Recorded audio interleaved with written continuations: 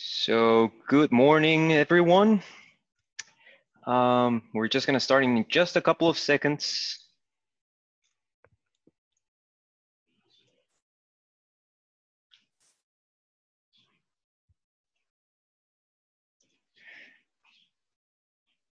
All right.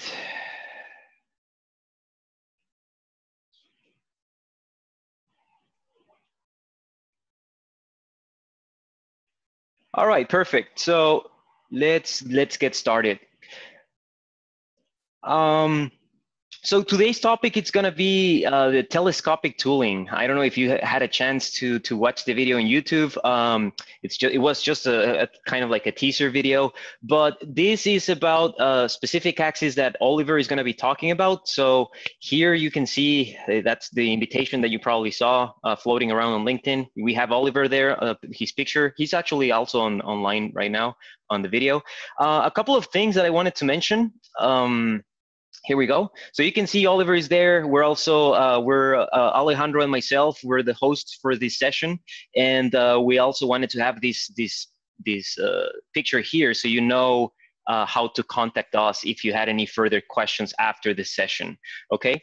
So uh, one thing, we're gonna be recording this session so you can watch it later. If in case that you missed something or you have to jump off the call, you can always watch it later. And you can also check out the email addresses in case that you need to send it, send us something.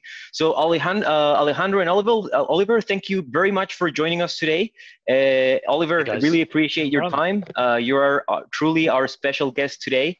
So let's get started. Okay. Thank you. Thank you, everyone. And uh, good to be here. So, um, yeah, so I, am Oliver Fernandez, as Sandro mentioned, and I work for Festo Canada in the Customer Solutions Department. Uh, short background for me I've been working in the industrial automation field for about the last 15 years, uh, with the last eight being at Festo. Uh, so, again, uh, I'm here today to present the telescopic actuator, uh, which was developed here in Festo, Canada and it has uh, it has pleased us that it's gathered a lot of uh, interest lately through our social media posts. Um, yeah, said it was a teaser, and it's really it was just uh, just a casual video we took and some pictures um, that we took in our shop. But it, we're as I said, we're really pleased. It gathered a lot of attention. It and it it just led to us to thinking that now would be a good time to us to uh, present this in a little more detail. So yeah, next 10 minutes or so, I'm just going to uh, talk about the short background on how, how this design came to be, top level description of how this works, give you a little rundown on the specs of this tooling, and some future developments that we plan on doing on this tooling. Uh, Oliver, sorry to interrupt you quickly. Uh, Sandro, also for the audience right now, uh, remember that you are more than welcome to ask any question. Uh, during the presentation or at the end, we're going to stay for a little bit longer than 30 minutes in case you want to rejoin us. Uh, in case the meeting ends up uh, after the free Zoom session, then you can, you're more than welcome to reconnect and we will be there for you. Mm-hmm. Uh, and the last thing is questions in English, francés, and español are more than welcome. So, y si tienen alguna pregunta o quieren interrumpir, son más que invitados. Okay? Dale, Oliver. Go ahead, Oliver. All right. Um, thank you. Thank you. Uh, Alejandro, can you you allow me to share my screen? Oh, sure. Oh, sorry. Or Sandro. Yeah. Yeah. There you go. All right, gracias. All right, um, let's see. You can also see the, the telescopic tooling in one of the videos yeah. that are right now on. Yeah. Go ahead, Oliver. Okay, so this tooling, telescopic tooling, came as a result of a need in an uh, ASRS system or an automated storage and retrieval system. Um, in a nutshell, just to brief review what that is. It's uh, basically it's a storage system, usually with shelves on the front and the back, and in the middle is your gantry system. And the purpose of the gantry system is to deliver product from one side of a shelf to another, or to reorganize products within its existing shelf, or to transport them, you know, back and forth. Uh, space is at a premium um, in these type of designs because you want more product in in your your given space. So a lot of times you don't have a lot of room for a gantry or tooling. So you have to be creative in the way you transport uh, these these products. So early on, a couple years ago, we were approached with this application, um, a vending machine, and we developed our sort of a first telescopic tooling, which was a telescopic tooling which went in only in one direction. So it'd go from the middle outwards. Uh, we utilized our existing uh, EGC ball screw uh, tooth belt actuators coupled with some mechanical um, mechanisms. Now this was used, is used in these vending machines that you will see, have seen in the Toronto Pearson Airport next time whenever that is you're you're able to travel um, if you see these these vending machines for the source they dispense um, electronic components and you can clearly see uh, so we were able to show this because there's nothing to hide. Um, you can clearly see our festo mechanism and uh, this telescopic actuator you'll see and it takes um, all, all these one of these products puts it on the output bin for the consumer. So uh, one one important thing that you have mentioned uh, is that these products, so this this first pass, this this first um, uh, a version of it was based also on a standard Festo actuator, right? For sure, yeah, yeah. So through the process of these iterative processes, we've we've always leveraged standard Festo right. products as the base. And in customer solutions, you know, our role is to use standard products, but customize it or engineering it in a way where we we're not limited to just Festo products. We use other third-party uh, mechanisms uh, to create a an automated solution that you cannot find in a catalog. So that's yeah, that's a good point. We we always leverage uh, existing Festo product. Yeah, one of the things um, that we also mention is like the possibility to instead of using, let's say, Festo motors, you can use anything else. You can use any third-party material motors, which is an advantage because then mm-hmm. you have a nice tooling that can be attached to pretty much any any motor in the market, mm-hmm. and the setup is fairly simple. Yeah. yeah, and we we admit that. Like we acknowledge that customers have different specs for their motors and we're okay with that you know we we can still support uh, the customer's application. Obviously we'd like to propose our Festo motors first but uh, we're we're open to interfacing exactly. with others. Exactly. Okay. Um, so what i have on this screen is our our first generation fully teles- telescopic tooling. So it, it totally it fully goes um, forwards and backwards, um, all within this, this envelope here. Uh, we mm-hmm. developed this for a pharmaceutical application. Um, we really tried to make it really slim because the shelves were very small and didn't have a lot of room. So this is our first application where we saw the need of having a very slim, low profile telescopic tooling um, that could be used in an ASRS system for, um, uh, in this case, it was, without revealing too much, it was um, canisters, plastic canisters of product. Um, the canister was very thin, maybe, I don't know, 30 mil wide.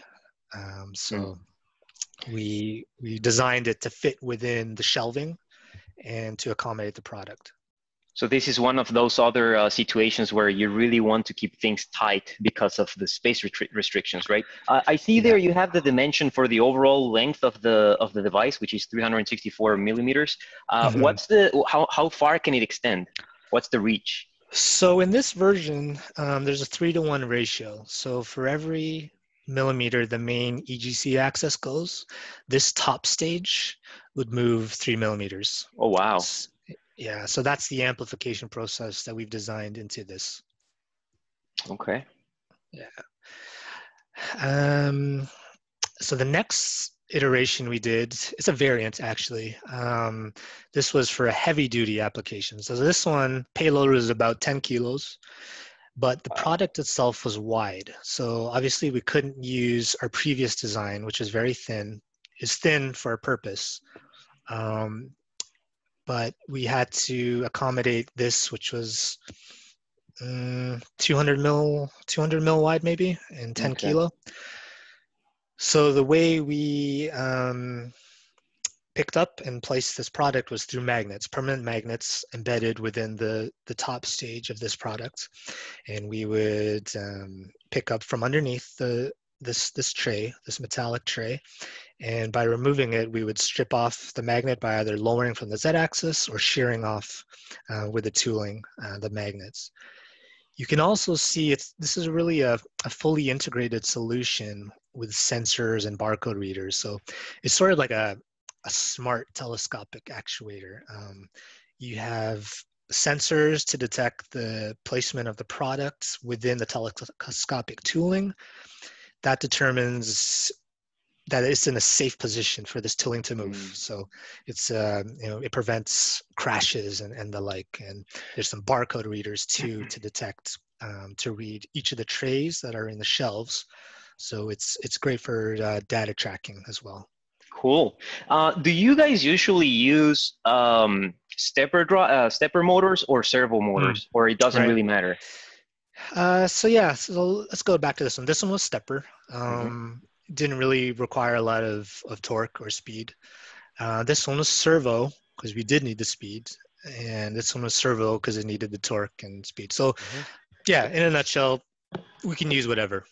Okay. Okay. Um, yeah. The application. Obviously, cost is a concern, so steppers you'd yeah, use for exactly. cost considerations, but depending on whatever the customer needs, we'll. we'll the other thing, the, the other thing also important on this, Oliver, and you you probably have it in your mechanical setup is how you bring all those cables from the tooling mm. back to the main cabinet, and that's also a concern because you have a high speed telescoping running, or actually flying, through a bunch of canisters locations and then you don't want to have a lot of cables running around so one yeah. of the advantages of using let's say like uh, a stepper motors or servo motors with a single cable technology is that you can reduce the amount of right. significantly the amount of cables and if you put everything on the on a particular network that allows you to put power over the network like power over EtherCAT or power over ethernet ip then you can minimize the amount of cables going going through the tooling that's right yeah. yeah cable management is a very important, yep. sometimes forgotten aspect of mm-hmm. uh, of design for gantries. Yeah. So that's one of the benefits exactly. of this telescopic because the top stage, as it is right now, we're relying mostly on um, you know just mechanics of of restraining the product, be it pins, um, locating pins, or magnets. So on that top stage, you have no moving cables, which eliminates the need for cable track, which makes it a lot cleaner and a lot simpler, which allows us to keep the tooling uh, a little more condensed because we don't have to worry about cable management. Okay. Okay. Cool. Yeah. So that's um, through those iterations that led us to develop a quote unquote standard telescopic actuator standard in a way that now customers can look at this product and design around this mm-hmm. instead of vice versa where we design to an application. So it just opens our us to to more customers and more applications where they can see this product. It's already uh, it's, it's a system. Um, what and you Oliver, get with this is yeah sorry i was going to ask and, and and and i know that uh, usually and actually today also we have participants from all around the world. So is this something that uh, customers can buy all around the world? Yes for sure. Um, right now there's no specific part number for it per se as a in a catalog a catalog number you know we would need quantity for that. But no for sure we've we've already sold a lot of these units and i'll go into detail to that later but um, it's you go through our customer solutions department and that's how you purchase it. That's how you purchase a lot of these um, uh, custom solution as the name entails customer solutions yeah. these custom right. automated um, systems through our customer solutions department. All right. And we can provide a quote exactly, yeah. to you as a system. Yeah. Okay. Just, just we already sold some yeah. some devices everywhere somewhere oliver do you remember? Oh yeah. Um, so a lot to the us to the US for um, medical. We got some of these well. in Dubai, I believe, and uh, different areas that we're already. Right. Yeah, and the vending machines. Yeah, yeah. Mm-hmm. So our our end users will send them all over the world, and yeah, they've they they are a presence on in many many countries, mm-hmm. and mm-hmm. yeah, hopefully we'll see some more as as this product gets recognition. Right. Well, uh, one comment, guys. We're halfway through the session, so just wanted to give you a sure. heads up. No problem. Thank you. Okay, so now here's here's uh, the product that you've seen in, in, in the videos and in posts. So this is our our standard, so somewhat standard. It u- utilizes our ELGC actuator. ELGC, it's a covered ball screw actuator, and the rail is covered with a stainless steel um, uh, strip. So it's totally enclosed. It's a nice, clean looking version. Uh, we have our middle stage and our top stage. So at the top level, the way it works is the ELGC base axis drives through a rack and pinion, the middle mm-hmm. axis, which then drives the top axis, which is through a timing belt and pulley. So the system you would get would be this um, whole mechanical system with the EMMS ST is our stepper motor, and then mm-hmm. also our CMMO stepper drive. So okay. that's what's included. What the customer would be responsible for is the the top, so the tooling portion of it. I just gave examples of what we provided in the past: stainless steel uh, bracket with some locating pins mm-hmm. or the embedded uh, magnets. On, on right, because we don't really know what the customer is going to be carrying on that axis, right? We That's don't know. So yeah, the customer usually has a better gauge of what the um, product is, and they probably have a better idea of how to handle that. So a lot of times okay. we leave that as a scope to them. Okay. Uh, one, there's one question in the chat that I already kind of answered, or I just sure. gave a, a, preface there. Uh, there, uh, Mateos is asking about commissioning of the access inside of the Festo software. So I know Alejandro is going to probably touch a little bit on this, uh, uh, and I just mentioned that, but I just wanted to okay. verbally, yep. verbally. Yeah, so I think, um, yeah, when we do the video, I think Alejandro will do a step, you know, walk you through how that's commissioned. Okay. So yeah, I'm almost done mechanically. So let's just, uh, I'm gonna go over the specs, um, just yeah. as an FYI. Um, yeah. This unit itself weighs about six and a half kilos, so about 14 pounds. Okay. Uh, dimension wise, it's about 400 mil long, uh, 112 mil high from the base to the top of the top stage, and about 78 mil wide. So the width is would be the the width of the middle and top stage, which actually would engage within your um, your shelving. Uh, top speed is about 0.8 meters per second. That's driven by the ball screw speed of this ELGC. Uh, we did some internal tests um, in, for deflection. So we put 10 kilos on the end at fully extended. We saw deflection of about 1.2 mil. And the repeatability, we measured about plus or minus 0.05 uh, millimeters. And the life we can estimate about 5,000 kilometers which is uh, correlated to the life of um, the ELGC actuator, which is what all our, our actuators are rated to. Okay. And I also have, we also made a, a PSI documentation for this, which like we can a, share like a brochure. Uh huh. Yeah, a little brochure. Yeah. So we can share that at the end too to give you some, okay. some info. Um, some developments we're working on um, integrating a cable track. So like I mentioned, it's we're kind of limited to the tooling we have on the top. Yeah, we need just mechanical pins or magnets. But by integrating a small cable track, now we can uh, is to make this tooling way more versatile. We can mm-hmm. add some some more action, um, uh, mechanisms on the top. So I'm gonna work on making a vacuum cup module that we can pass it on to the top, just feed in your vacuum through a generator or vacuum uh, blower. I'm also going to integrate some electromagnets, um, feed in some 12, 12 volt DC through here. Or recently we partnered with uh, MagSwitch.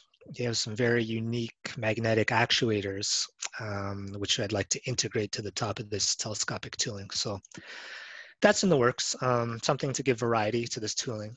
Yeah, um, sounds just one thing that is we're not limited to just that size. Um, you know, we will we can adapt to your different payloads or different strokes.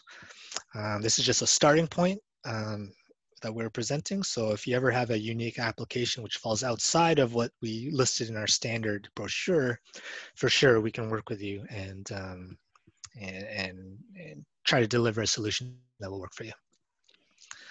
Cool. So that's it. So I think um, I'm gonna stop sharing and maybe we can actually look at the real real deal. Yeah. Uh, let me make Alejandro. Uh, Uh, which se which uh, session where which one is it, Alejandro? The one that you're using? I I don't hear you. I know. Okay, uh, you can It's pick up uh, The, the one where you have the microphone? Yeah, that one. Okay. I'm gonna uh, share my screen over here. There you go. You sh you're not you're now the host. You should be able to share. Yep. Okay, so first thing I want to show you guys is uh, a real, a real picture of how the system looks like. Uh, in fact, we have we have this uh, this little screen here. I don't know if you guys can see it. Hold on. Uh, new share. This is the one. Uh, this one. Okay. So let me know what you guys see. Do you guys see the screen? Yep. All right, so this is how the mechanical system looks like in a high density, uh, compo- like a rack. So you can see the amount of areas that you can access from this telescopic tooling. You can see the telescopic tooling all the way down at the bottom of this system. This is an, a three axis system plus the tooling. So, and then this is all control over EtherCAT. That's the first uh, portion of the presentation, which is a nice picture of how den dense can a system be. Uh, and this is how the rack and pinion looks like uh, from the side. And then, of course, this is kind of one of the first systems we built, uh, but it's a demo for demo purposes.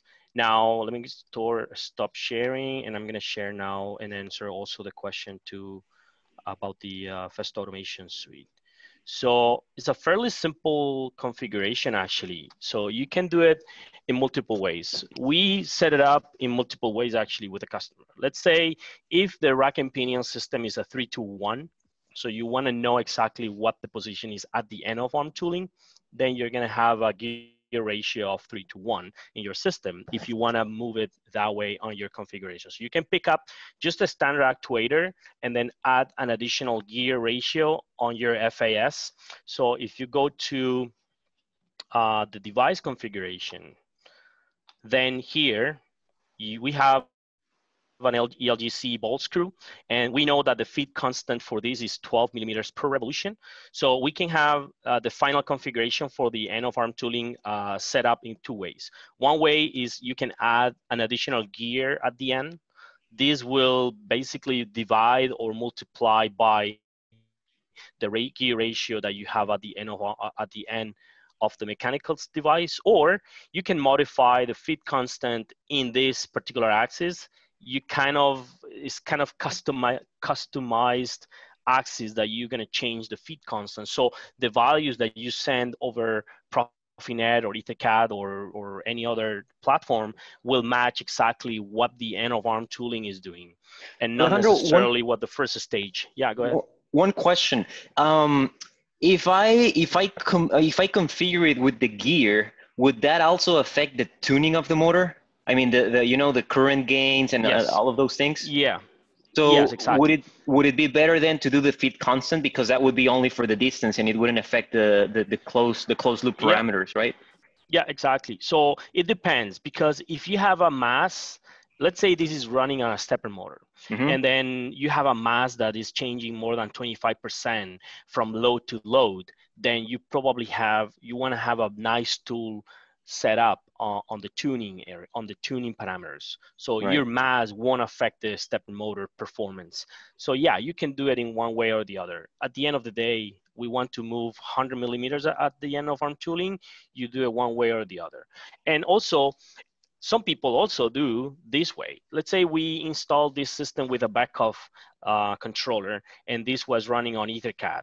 What they did, instead of touching all these configurations, because you don't want technicians to come and start like thinking how you how these guys develop this mecha- mechanism and what the gear ratio is. So just leave it as a default parameters. And Mhm. what they did is on the HMI and the Mhm. software in the background, they just you know divided by three or multiplied by three or the gear ratio and then that's it so you get technicians on the field they, they, they know the basics they can just change the axis and that's it you don't Yeah. have to worry about yeah so that that's another way so yeah if we go to control right now i have a, a few a few um, record um, positions here. So let's give it a run.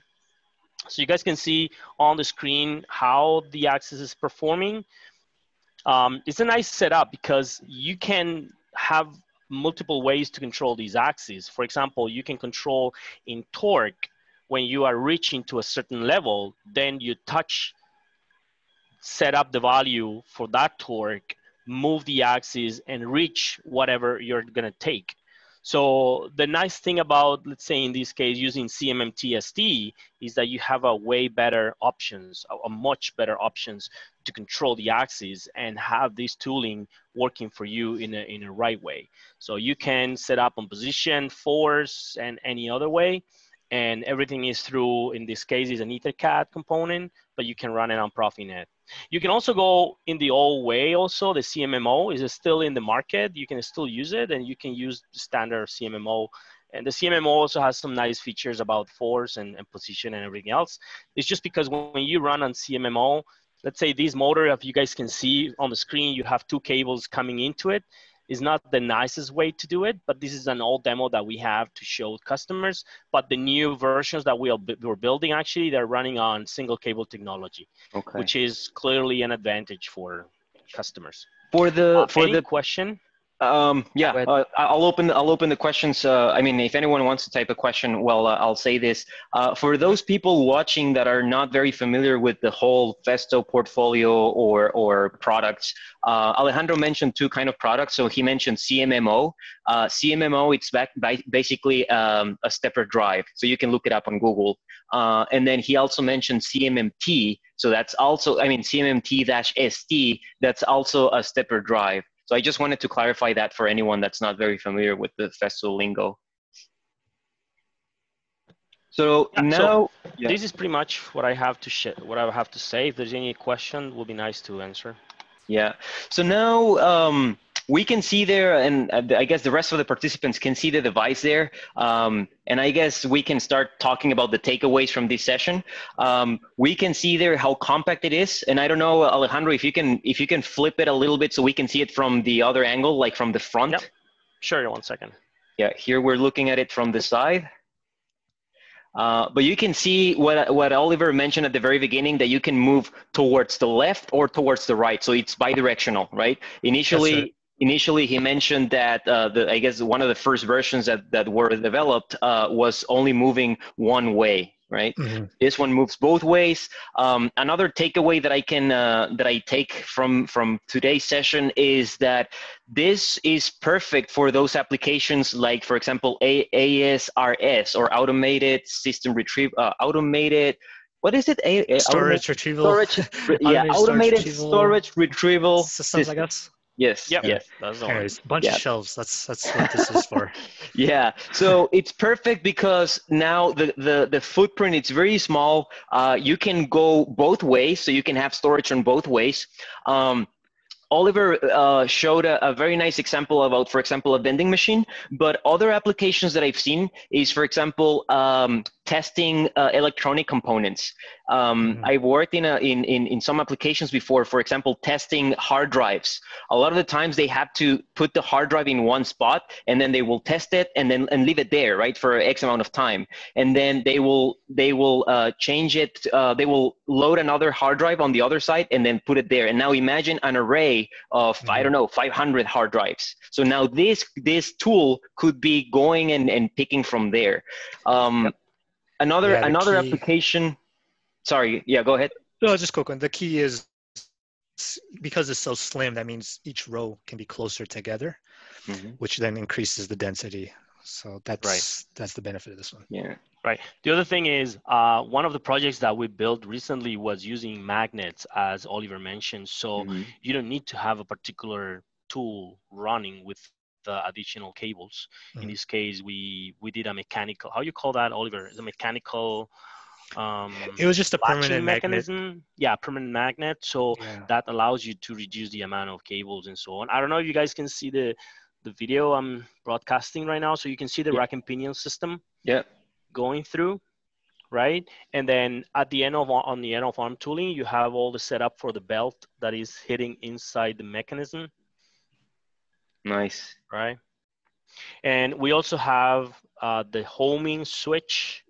We did actually a specific bracket that goes inside the mechanism. Ah. So this allows you to do the homing because one of the nice things about this actually is a challenge too is how you home a mechanical system inside this high density yeah. Uh, device yeah, that's right? and if you yeah. and, that that's something that we also develop which is a, a special bracket that goes in between um, the, the rack and pinion and the axis and has a latch. So these are is mechanical not mechanical moving parts but is like a sensor sensor and a mechanical latch. So that allows you for how you home it without crashing the axis for example yeah. going to one end or the other. So home a safe home would be in the middle position where everything's exactly. in the middle. Yeah. Exactly. Because normally if you home to a hard stop, you would be extending or retracting this tooling. Yeah. Which and who knows what's main, in front. Main crash. Yeah, yeah. Oliver, we have a question there from Trevor. Uh, he's asking about the maximum payload again. So we can, if we can specify. Yeah. So that one, that one was about five kilos, which you see there, okay. and the reach, the reach is about 760 specifically it's 768 millimeters. So from the middle to the to the end of the telescopic range. How, how um, much was it was it 700 sorry, sorry that's end to end um, 768 but from the 768 middle, millimeters from end to end. Yeah so that's fully extended to fully retracted. Yeah so, um, and from and from the middle? 384 and uh, from the middle would be 384 yeah so half of that. Okay 384 um, from the middle I'm just typing it here in the chat. Okay, yeah. Yeah. Uh, okay, perfect. Um, I was going to ask another question and now I forgot. We have uh, we have approximately six minutes left uh, for the session. Um, but uh, yeah, we, we, we got some questions in the chat. Um, anyone else that have that may have some questions, feel free to unmute yourself, or you can just type them in the chat. You're welcome to do that as well. Uh, I had another question. We want, we want to hear voices, guys. Everybody's so quiet. right. Espanol or We're gonna start singing soon. I, I, think some people are just shy and they prefer to just type it in the chat. That's yeah, yeah, fine yeah, no, too. that's fine. That's fine. That's fine too. Um, this is a nice success. When I remember when we were setting up this, it's really hard to get into the area where the gantry actually is moving. You remember that, right? Like in order to get into these high density storage oh, systems, to physically walk in, yeah, like yeah, physically it's... walking is horrible. So yeah, we when, have to actually yeah. move the axis completely out and then set it up out of the gantry or out, out of the working area and then push it in, because uh, as as Oliver mentioned, is a is a premium. Like every spot is really really hard to get into it, mm-hmm. and is also a premium uh, you know price that you pay for exactly, that particular spot. So so that's nice. Having this tooling is nice is nice actually because you can get acts like very precisely uh, into that particular. And you remember that we have RFID, RFIDs. Actually, uh, Sandro, we have RFID readers and writers because right. we have to read particular tags inside mm-hmm. the system. So we have that in the tooling moving. We also have laser sensors that they don't move with the tooling, but they point towards every side so we can check when the boxes are there and not mm-hmm. there. We can actually read the barcode and so on. So in the system does the systems that we developed before was uh, two barcode readers, two high, like very precise laser scanners. Mm-hmm. Um, what was that? Uh, the RFID also everything was running on EtherCAT, by the way which is nice. So having having the servos having everything all the controls on EtherCAT was a nice nice thing to we have, have. to clarify something though. I mean uh, we've been talking about EtherCAT, but we can also run ethernet ip profinet oh, EtherCAT yeah, yeah, yeah. Uh, oh, multiple definitely. protocols right? So we don't want to we don't want you to go with the wrong impression. The one thing that i was going to mention is the most common uh, industries where I could probably see this being used at is, for example, yes, of course, vending machines, but pharmaceutical, of course. I see this a lot in Definitely. pharmaceutical and yeah. electronics. So as I mentioned, electronics uh, for, for testing purposes. Uh, one other application that I was thinking about that I participated in, in, in the past was uh, this customer was building PCs. So they will have these these stacks of PCs, and they will once they finish, they have to test the PC, right? But booting up the PC and going through the video check, USB check, Ethernet connection, that takes some minutes. So they will go and connect. So now imagine that you will have a system like this, and it just connects something, right? It could it could be Yeah. something like this as well. So. Um, so, um, do you want to show the video, uh, Oliver, or you want me to do it? The Oh, you can do it. the high density ASM that we built. Yeah, I think you have it loaded up. So you can, hold you can one show that. One thing we also Sure. concepted uh, before was are this telescopic tooling on on AGVs, on the ah, autonomous guided vehicles. I think that's what it stands AGVs. for. That's that's a good. That's a good. Yeah. yeah, good yeah. example. I mean, it's it's all compact, right? So it all fits within the envelope of the AGV, and you know, just go around and pick up bins. Yeah. Um, I I know that you're gonna show this video. We have three minutes left. So after showing this video, we'll probably wrap it up, wrap it up, and uh, and we'll continue talking the next time.